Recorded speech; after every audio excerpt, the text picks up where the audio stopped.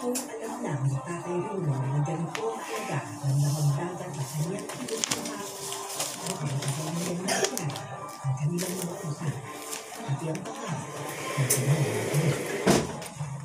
po mga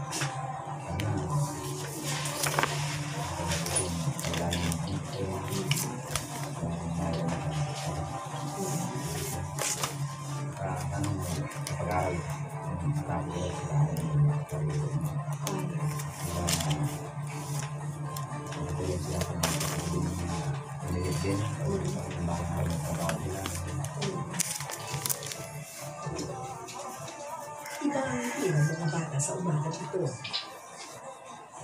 Araw kasi ng pasukan, malaya silang maging bata, bakasyon sa responsibilidad. ano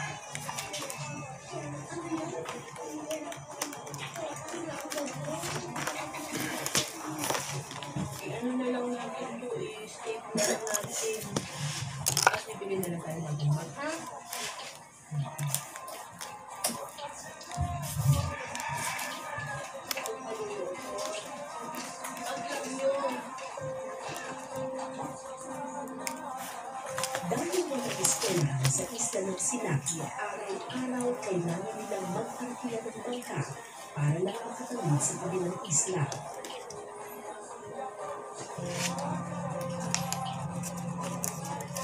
$150 pesos ang pamasahe kada linggo.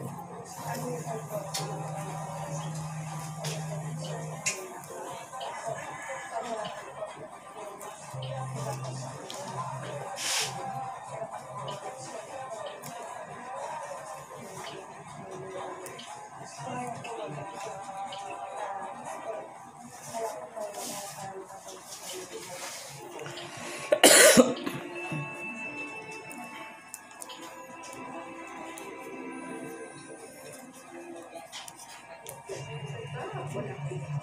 Kaya kung pumapapagpalit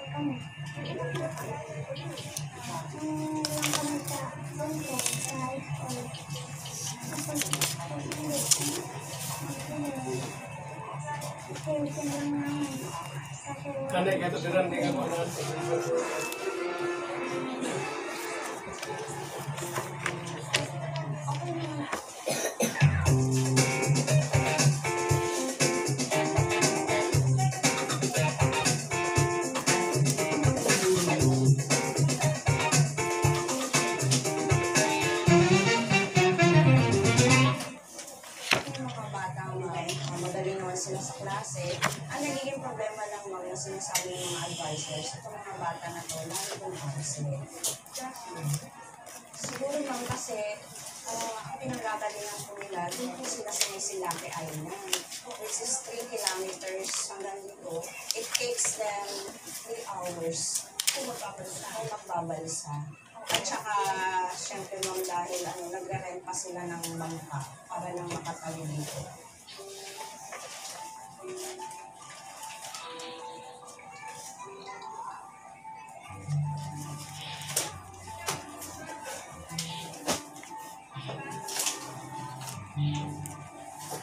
eskwelahan ito, nag-aaral ang halos lahat ng mga taga-isla Sinaki.